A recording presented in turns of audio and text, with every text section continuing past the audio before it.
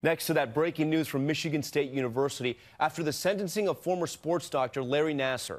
New questions about claims of sexual abuse by players on the school's football and basketball teams. And tonight, a special prosecutor now appointed to investigate. Here's ABC's Eva Pilgrim.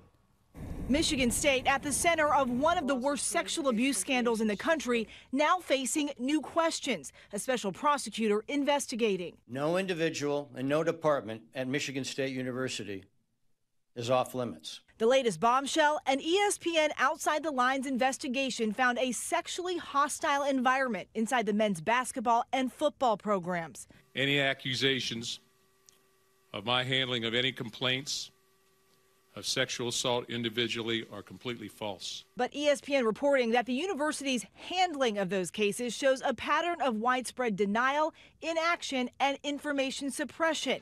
Overnight, hundreds of students dressed in teal calling for change. Earlier this week, more than 150 female athletes spoke at the sentencing hearing for Larry Nassar, the former U.S. gymnastics team doctor who also worked at the university. He betrayed my trust, took advantage of my youth, and sexually abused me hundreds of times. The MSU athletic director stepping down. The university's president resigned. Some of Nassar's victims say university employees knew about the abuse.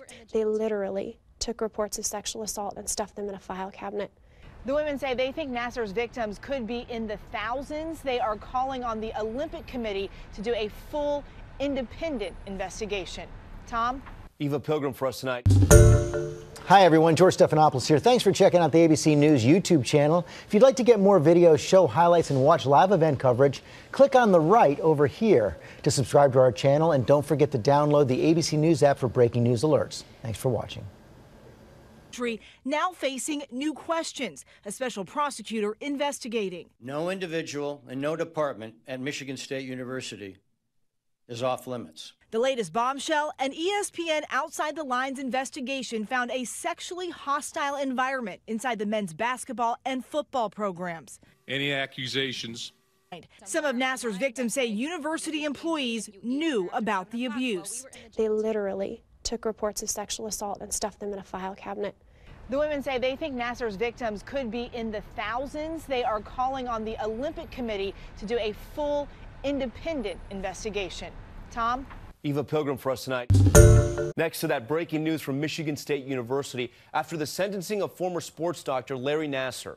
New questions about claims of sexual abuse by players on the school's football and basketball teams. And tonight, a special prosecutor now appointed to investigate. Here's ABC's Eva Pilgrim. Michigan State at the center of one of the worst sexual abuse scandals in the country. Earlier this week, more than 150 female athletes spoke at the sentencing hearing for Larry Nassar, the former U.S. gymnastics team doctor who also worked at the university. He betrayed my trust, took advantage of my youth, and sexually abused me hundreds of times. The MSU athletic director stepping down. The university's president resigned. of my handling of any complaints of sexual assault individually are completely false. But ESPN reporting that the university's handling of those cases shows a pattern of widespread denial, inaction, and information suppression. Overnight, hundreds of students dressed in teal calling for change.